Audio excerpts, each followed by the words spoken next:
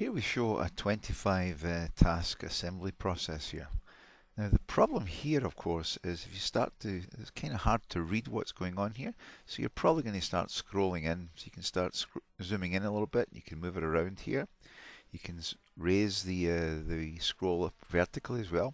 So pretty quickly you start to lose perspective of where you are in the process. You could be anywhere here now. It's low, easy here because it's task 6, 7, 8 and so forth.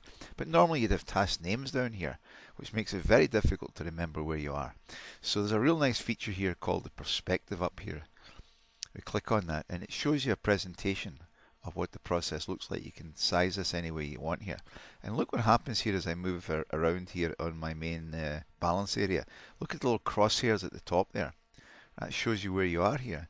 So if I was to scroll it out to the right here, and then move it back up, you see it picks up where we are right here. It's also very good for locating to a particular point. So maybe you want to go to a certain station. You can click on it here. It will actually position you right to that particular uh, station, preserving the zooming that you've already set up here. So if you want to move around down to the bottom here, you can click here. So it gives you an excellent way to quickly navigate around and also see where you are within the process at any point in time. So let's say you wanted to grab this guy and drag it over here. You can see that actually taking place on the uh, up in the um, in the perspective here. Another nice use of the perspective is when you have a multi-model here.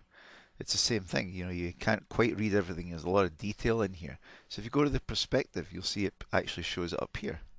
So you can see your different stations representing what's going on down here. So again, if you zoom it, if you scroll around and you maybe move around here to different stations, here you can see it's a little harder to know where you are, but right here, because of perspective, you can see exactly where you are at any point in time.